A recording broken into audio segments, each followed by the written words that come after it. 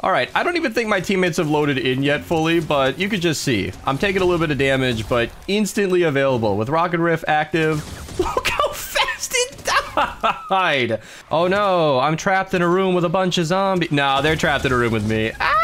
It's like, it's really hard to record for a weapon like this because look how fast they die. what you're seeing on screen is my favorite melee build in Fortnite Save the World. This is with the old loadout and the gameplay that you're seeing from my previous video. I'll link it down below. And basically with the Stormblade and crit explosions, whenever you crit, it explodes. And that kills everything around you. It's a super, super fun loadout. Now, this build is kind of outdated. That's what we're here to talk about. This was done with the math that we knew at the time. Josh, you did an excellent job parsing out all of the best heroes for what he knew to make the best loadout possible, and Whiteout Fiona in the lead actually made sense at the time. Totally rocking out to crit more often, battle beaten fumble just to activate Totally rocking out, swing a little faster, do a little bit more damage. Paleo Luna in support because even when it's not Blast from the Past and even in support, she's actually always that strong. Monster Mash was keeping us alive, which is really, really useful. And then this bottom perk, I think is Assassin Sarah, but you can pretty much use whatever you want at this point. It's a really good build. However, with new information and a better understanding of how the game works, AS407 and a team of very helpful people have come up with a much, much better build. I'm going to show a spreadsheet here. It is in light mode, so if you're in a dark room, be warned, this is going to be bright, but this is sort of the special thanks section. and I really want to include this in the video because lots of people were involved in understanding this very thoroughly. There are definitely some regular names that have been on here on my channel before. Uh, huge shout out to Nuts and Bolts. He's helped a lot on this channel with different uh, information. Zylik does a lot of leaks and the spreadsheets with enemy stats. Really, really good stuff. Musicians are regular. I'm not going to thank everybody individually, but you get the idea. A lot of people were involved, and uh, AS407 took that understanding, and this dude works on mobile, by the way, unrelated to anything. We have begged him to get a computer, and he just doesn't think he needs it. That's besides the point. But he did all of this by hand. He didn't automate this at all. Oh my goodness, look how thorough it is. When you guys tell me that a loadout I'm using is inferior to a different build, this is the best way to convince me. So what we are focusing on, what we are focusing on is this Blast on the Past ranked right here. This is what we're looking at. With a Bright Core Stormblade running the loadout that I'll show in a second, we are doing 1.5 million damage per second to a single target. Now that's with an explosion, which is obviously affecting other targets, doing tons of damage to tons of crowds all at the same time, and there's a lot going on there that I am absolutely going to explain thoroughly. If you guys don't want any more math, enough of this beast, just show me the build. I trust you, it's good. Timestamps are on this video so you can skip ahead just to the gameplay where we start the actual match, but I'm gonna get into the weeds right now. So Bright Core is very important because we are taking advantage of Paleo Luna. She makes it so that she adds 9% of your current health to your melee damage. My precise health varies with who's in my team when I'm recording my videos, but typically with a Blast from the Past build, tripling your health, and a full team with high level teammates, you're typically in the neighborhood of about 1.4 or more million health. That means Paleo Luna is adding more than 100,000 damage to every single swing, which means with Bright Core, swinging 10% faster than Sunbeam, if you guys didn't know, you're just doing 10% more, you know, tens of thousands of extra damage per second, and this is the copy of the weapon we're using. If we're doing a 0.36 swing speed, we're, we're swinging roughly three times a second. It's a little less than that, but three times per second for easy math is about 400, maybe 500,000 DPS before we even get started. How do we get to 1.5 million? Well, that's where these perks are very specific. Attack speed is obviously because of Paleo Luna, but a crit rating perk is actually very essential because we want to crit more often. As you can see, it's 50% of the time with Whiteout Fiona in support. Like I said, I'm getting into the weeds, but I'm skipping ahead here just to mention her. She ups the crit rating of swords. She makes you crit more. It's not that complicated, I guess, but basically when you're critting with this weapon, you are exploding the enemies around you, and what AS407 found is that that crit explosion carries Paleo Luna's 9% to your health, which means you're getting 9% of her health on every single swing, which applies to every single enemy in that swing. If you swing the weapon once and you hit five enemies, they're all getting 9% of your current health. Then if you crit on any one of those targets and they explode, that explosion is adding that 9% again, effectively activating Paleoluna's perk twice per target, which is an explosion, which could hit every enemy at once. If you swing through a crowd of five targets and you crit on one of them, you're effectively hitting each of them with a normal swing, 9% of Paleoluna on top of them. The explosion is doing its damage, and 9% of your health is being applied again on top of the explosion. We're hitting all five enemies four different times in one swing, which is happening basically three times a second, but it gets better. I talked to AS407 before I recorded this. I wanted to make sure that everything was correct. He added a little bit of information, just a tidbit on top. That explosion, if the enemy has a high enough health, apparently applies her bonus twice, so you're adding another bonus of your 9% health to each of those individual targets. So it's kind of insane. And I'm just disregarding the fact that when you are swinging through a crowd of enemies, they each have their individual chance to crit. So in my example that I was spelling out for explanatory purposes, I'm only critting on like the first target. But if you swing through a crowd and you crit on two or three of those targets, just you know, that, that, that satisfying chunk of an explosion. It's super satisfying. I know a lot of my gameplay is being shown without the audio, but maybe we can unmute it for a second just to enjoy the beautiful sound that is that weapon exploding. Isn't it so great? It's great. It's really, really great. So yeah, that's basically what's happening with this. And that's why we're running crit rating. Typically, if you're running Paleoluna in the lead with any normal melee, you want as many attack speed perks as possible because she has no cooldown. Every single swing of your weapon will apply her 9%. But because that explosion doubles or triples how often it's activated, plus the explosion itself is doing a pretty good chunk of damage, you definitely want that crit rating perk. This weapon's locked to energy, so there's no, no discussion there. Damage is the only thing that makes sense here. Maybe life leech, but we have coconuts. We'll get to that. And then the, the bottom perk here, damage to mist monsters or bosses. Again, it's the only thing that makes any difference. We're not afflicting, slowing, or stunning. Uh, maybe we're stunning, but extra damage to mist monsters and bosses makes total sense there. I'm not going to wait. Uh, I'm not going to weigh too heavily on that right now. So that's basically the build. Paleoluna is doing a ton of extra damage. Blast in the Past is making that happen. Saurian Hide is just making you really, really tanky, which is super important in a melee build because you're constantly taking damage. And yeah, I'm using Saurian Hide. She is, um, Saurian Vigor, sorry. She is really bad. 2.125% of your health every five seconds is abysmal. It basically takes four minutes to get back to full health. But if you look through this, there's nothing that makes sense. We're not doing ability damage. We're not using energy. We're not using abilities to heal us, and we're not doing range damage, so it's the only thing that does anything for us, but that's fine. Our main healing is obviously coconuts for two amazing reasons. He gives you a ton of health. A third of your health is instantly recovered when you eat a coconut, and it heals you over the next 30 seconds. I've explained this a hundred times on my channel, but I'm saying it again. And with Crossbones Barrett, he gives you an extra 16%, which, as he's explained to me, that 16% applies to your initial hit, and the crit explosion, so it's actually getting a little doubled up here, and that's just stupid. and I think that 16% also applies to like Paleo Luna's damage as well. Like it's it's a crazy amount of extra damage. It really makes sense. And Battle Beat, yeah, I know we're not using Totally Rockin' Out, but Rockin' Riff is good enough to use because of several things. First and foremost, the, the raw bonus is upping our swing speed by 32%. So I already said we're swinging with a 0.36 attack speed. Like that's how fast one swing takes. So we're roughly swinging three times a second. When this is activated, we definitely are swinging more than three times a second, which is amazing amount of damage. Amazing amount of damage. And it increases all of your damage by 50%. Just so we're getting a damage and a swing speed bonus at the same time. It's stupid. And the third reason I was talking about is that it's 10 eliminations in 9 seconds. Well, with Paleoluna, since the beginning of her perk, I guess, that 9% extra damage counts as a second kill. When you kill a target with that 9% extra damage, you're basically activating Battle Beat in 5 eliminations instead of 10.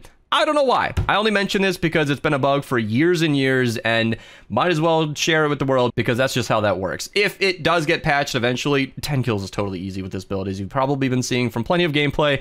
It's a lot. So yeah, crazy long intro, lots to go over. It's a really, really strong build and it is roughly 50% stronger than the previous one. I like that number, so that'll be in the title and thumbnail. Suffice it to say, it's a lot stronger. And one thing that's insanely important is that Paleoluna is immediately immediately active. What I never liked about the old build is we were using fumble, so you had to really take advantage of White Out Fiona because Totally Rockin' Out wasn't active. You had to get some normal kills and hope for a fumble football or activate Battle Beat, and it, would, it took a little bit of time to set up. Your single target damage versus a smasher was terrible. With Paleoluna, so long as your health is up, she's just instantly ready and 50% on top of that, which is just crazy. Coconuts will keep you alive during the fight, and I'm going to flashbang you again just to show you. Uh, my, my previous build was slightly weaker than this, but the strongest possible totally rocking out build that he could calculate was just over a million DPS. That is with max 160 crit rating and the perk decays over 8 seconds and so you're never sustaining that million DPS. Paleoluna is 50% stronger than that without any of the setup or any of the decay. Granted, once again I'll repeat that you are taking damage while you're obviously playing the game, so you're not always going to be at peak efficiency, but coconuts goes a long way to counter that. And if you're already doing 50% more, you can lose a lot of health while still being significantly stronger. So it's just a really, really strong, really consistent, no setup necessary build. The only thing you have to worry about is eating coconuts and managing your health. So Woo! With what was probably one of the longest intros I've ever had to one of these Fun 160 builds, let's hop in game and uh, actually, actually run the weapon. All right, I don't even think my teammates have loaded in yet fully, but you could just see. I'm taking a little bit of damage, but instantly available with Rocket Riff active. Look how fast it died! Holy crap, dude. This is what I'm talking about with that improved single target damage. Obviously, I'm in a water zone, so I'm running uh, super slow, but wow. All that damage is just immediately available. No Rock and Riff active. Obviously, we did have Rock and Riff here, but we didn't need Totally Rockin' Out to be active for this to work. We can just walk up and let's see, one swing. Two swings. Two swings to take out a 160 nurse. That's incredible. That's incredible. Look how casually it just spits out all this damage. Now, that's at uh, two-thirds of my health remaining, so I need to go get some coconuts. All right, still no coconuts, but with health... with health missing, it doesn't even matter. Look at all that damage. I'm going to be doing this the whole video, by the way, just gushing about this build. AS showed me this loadout and explained it to me thoroughly, and I, I tried this out the day that he did so, and it just blew my mind. I always consider this to be my favorite melee build, even if it wasn't technically the strongest, because it was just super fun. Like, listen to this. Oh, okay, all right. Maybe maybe listening right when everything's done exploding is a bad time, but improving a build that I've already been enjoying and to make it this much stronger is so satisfying. I really can't stress how annoying it was to go up against a single target like that, only to find that I'm getting unlucky with my crits. That drove me crazy with the previous build because that's a real thing. You can see, like, if I'm not getting those crit explosions, reactivating Paleoluna's perk, and stacking all that extra damage, it's pretty weak. But once they actually, you know, are, are getting those explosions, it's really good. With the previous build, you basically needed explosions. With Whiteout Fiona in the lead, she was not adding any extra damage. Her whole purpose was to crit more often. If you weren't doing so, then the build just didn't function. It was just the Stormblade Bright Core with no damage bonuses. So in those instances, you're going up against a Smasher... god. Going up against the Smasher and doing nothing. In this build, even if you're not critting, Paleoluna is still adding tons of extra damage per second. Like I said in the video intro, something like 400 or 500,000 damage per second without any crit explosions. And with that amount of extra fuel uh, added on top of the explosions, just destroying crowds of targets, it's a really, really satisfying build. Quick little taker for you. I meant it when I said quick, too. I found a cave full of enemies. I don't think I need to eat the coconut, but I am standing in the storm, so I might as well. Might as well. Look at the nurses. The, the throwing thoughts, not nurses. We're just getting pushed towards me because they backed into their own teammates.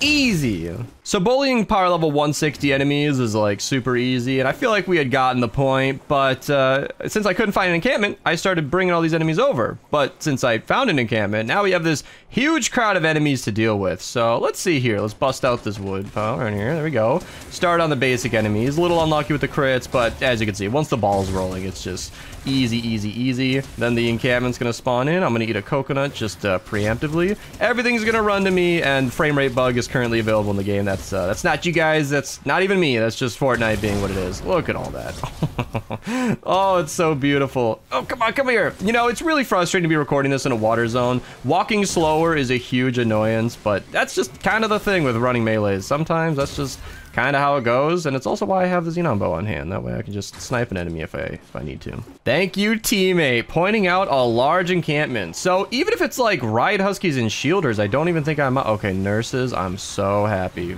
Beautiful. Get to just watch everything die with low frame rate. Thank you, Fortnite. Oh my god. It's easy mode. It's easy. Oh my goodness. Everything just dies.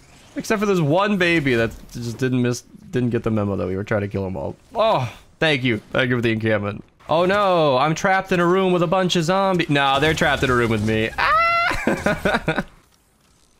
Sometimes a Xenon bow is just a better solution. You know, when they back up and you're running a melee, I don't even care. All right, We are here at Fort Phoenix with a very, very strange build, and you can see Battle Beat's already active. I put down a few electric fields out here just to get her perk active more often. Swinging quicker and doing more damage is going to be great. I've only got 10 coconuts, which should be enough, but oh my god. Oh my goodness. You know, one of my teammates asked me if they should run Boom Base, and I said no, because I wanted to show this build sort of how it normally is without a teammate boosting it, but that's totally a thing you could do. If you have a teammate that's running Constructor already, Boom Base would just honestly help. Crit more often, do more damage, but as you can see, it's not even necessary. This is just beautiful. Is that a smasher in here? Yeah. So our newfound single target damage should be greatly improved, and I did not play that well at all. I should have absolutely jumped, but look at that. Look at that damage. You'll see the coconut again, active for 30 seconds. Archer's out here trying to make a build work, but it's totally fine this is just gonna take care of it easily. So that's a great showcase of exactly what I was talking about, where Paleoluna seems to be activating multiple times with this perk. And something I didn't mention earlier in the video, I guess I can say it now, is that we are not running a crit damage on this weapon. Like, obviously we're trying to crit more often and do big crit explosions. What's going on? Well, the actual explosion when you crit with this weapon can't crit itself. So you crit with the weapon and you activate the explosion, but the explosion doesn't take any of that crit damage. So it just doesn't do more. And I did the math on Paleoluna and she is functionally like a crit damage perk on her own. If she's applying to your crit explosion, she's basically like two crit damage perks with how much she's adding, which is insane. So yeah, we kind of have our crit damage built in with Paleoluna, and I, um... I just think that's great. I think that's great. All right, this is a beautiful moment. So this is going to be for the intro of the video. Let's just enjoy the sounds of this weapon. Oh, bad moment. Bad moment. Here we go. Isn't it so great? so this is actually a great example of why you don't want to record this in exploding death bomb mission Coconuts are great. Oh, we have chrome husks right now, so some of these aren't going to die. You need to kill them with water or fire, but I'm not using either. Uh, so, bad timing for recording this video during the Blockbuster quest. I have not finished my quest line, obviously. The Magnets quest on page 9 is what you have to complete, and everybody in the party needs to have completed if you want to have no chrome husks, but eh, whatever. I mean, I'll just kill them over and over. I don't mind watching them fall on the ground to the power of this build. All right, nice little choke point. Teammates are using Chain Lightning, which is also very, very strong. Vacuum tube weapons are very, very good. Here's a video, link down below if you guys want to see just how good they can be. In my current recording of the game, they don't work as well as they should, but I won't worry about that because uh, that's just not what we're showcasing today. So this is, again, all right, so Paleo Luna's obviously adding on top. She's functioning as a couple of crit damage perks, and that explosion is attacking every single enemy in the vicinity every single enemy. So crowds, like, it's really hard to record for a weapon like this because look how fast they die.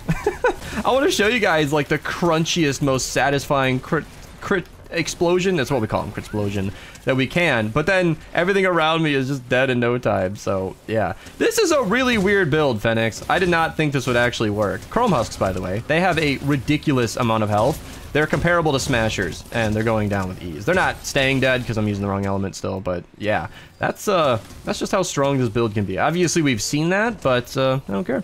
This whole video is just to be a beautiful showcase. Oh no, a bunch of basic targets. Whatever will I do? I love that about melee. So every single melee in the game has built-in crowd clearing because as you swing the arc of your weapon, it can hit lots of enemies at once. So every swing is hitting multiple targets, and in this instance, it's triggering multiple cases where it could potentially explode. And as you can just see, that explosion removes the beehives, which is really, really satisfying. All right, here we go. So we're losing a ton of damage. Need to eat two coconuts. I am running low. I understand that. I could have absolutely prepped better with my coconut supply, but I figured I could throw down a healing pad or something if I needed it, and that would be okay. But yeah, you're just hitting multiple enemies all at the same time, clearing the beehives, keeping you alive. I previously enjoyed Arlene Iza in the last uh, loadout. The reason that we can't use her in this one, I didn't explain it earlier, is that we are focusing on attack speed and Paleoluna being awesome. So because of that, we are just not doing that much damage with the specific weapon itself. Previously, when we were specifically running Totally Rockin' Out, making the weapon crit, that made a lot more sense. Uh, Arlene could keep us alive, but Coconuts, especially with their added damage bonus, is unfortunately it's just the superior version. I, of course, say unfortunately because Coconuts are kind of annoying to get. You can see in this instance, I'm running low on Coconuts because I'm standing in beehives and taking tons of damage from the storm and the enemies around me, but yeah, you might not always prep enough coconuts, or you don't want to, or you get unlucky when you're trying to collect them. Like you search for 10 minutes straight, but couldn't get enough coconuts. And as I've played this game for more and more time, I have gotten less patient with coconuts. I've praised coconuts in many videos, and I will continue to do so because coconuts are amazing. But yeah. All right, what kind of mini boss do we have here? Ooh, we actually have a mini boss where I can do something. So, knockback is a problem. It doesn't seem like anybody's running slow field. Single target damage on this on this build is good. Uh, I think we've explained that much, but it's not perfect, and you can see that it's uh, it's not doing too much. It's a Husky Husk, so it's not like it's the weakest mini boss ever, but we would probably, I would probably be a lot better off if I just pulled out a pot shot. Link to the best perks down below. I'm gonna do that right now, actually, because as much as I am showcasing this weapon, let's not ignore the fact that versus a water mini boss, easy pot shot damage is just the best way to go. It's boring. You guys knew the answer already, but like, look at that. No matter how how strong this melee build is. Yeah, squeezing out a couple million damage with no setup whatsoever. Not even running totally rocking out, by the way. I, you just can't beat that. Now, I probably had Rock and Riff active, doing more single target damage. Uh, I'm sorry, more damage overall, but yeah, yeah, that's just that's just how good the pot shot is. Now, if you don't want to spend rocket ammo, the Huskbuster is a great, uh, great other option. I always recommend the Huskbuster because it's a really, really good shotgun that's base game available. Scavenger, so it's super cheap to operate, and you don't have to don't have to worry about crafting it. Did my swings just do, do no damage there? Yeah, so I mentioned the vacuum tube bug earlier, and that's prevalent in a lot of different weapons in this game right now. Sometimes you'll swing and you'll attack a target, and you'll just do zero damage. That's just, uh, that's the current version of the game. That might be fixed by the time this video goes live. I couldn't possibly know that, but yeah, it's, um just kind of how that goes. So you can see sometimes I'm just doing no damage. So consider everything you've seen so far and just know that this weapon should be doing better than it is. Uh, it seems like the bug has just started taking place recently here, and it looks like my copy is about to break. So, yeah. I think we've shown what we need to, though. I might record a second part to this, because I know this video is really long already, but I think we've gotten the point across. I think I'm going to call it here. This this loadout's awesome. It is my favorite melee build, improved even further. Thank you so much to AS407 for doing all that math. He did a ridiculous amount of math. I don't think people need to make a spreadsheet just to convince me on every loadout, but if you're gonna go to that effort, it is highly appreciated, especially when it's something like this, where this is a build that is enormously fun to use. You know, I've said it earlier, like, it's not the strongest melee build. I'm pretty sure the Ravager has that title, but it doesn't matter. Like, when you're critting and exploding on so many different targets, like, I have the million DPS in my brain, but, as shown, that 1.5 million can apply to an entire crowd of enemies in front of you. It's awesome. And yeah, I know I'm really low health right now. I ran out of coconuts. I'm kind of struggling. You know, like the end of that action movie where the main character's running out of ammo? That's basically me right now. But yeah, that explosion and that extra damage applying to an entire crowd in front of you is insane. It's insane. We had minimal traps this mission. I mean, okay, Fenix did some a little little extra here today, but with minimal traps in a 164 player with teammates who were briefed and understanding of the fact that I'm trying to record a video, kind of staying out of my way, letting me kill whatever I want. That's how strong this build is. You could probably use four people, this build, and plenty of coconuts, and maybe not even use traps. It's that strong. So yeah, there's my new favorite loadout. Uh, thank you guys for watching. Definitely give it a try. Tell me what you think. Thank you again to AS407. Um, yeah, subscribe if you're new. Like the video. Check out one of these recommended at the end here, and uh, I'll see you in the next one.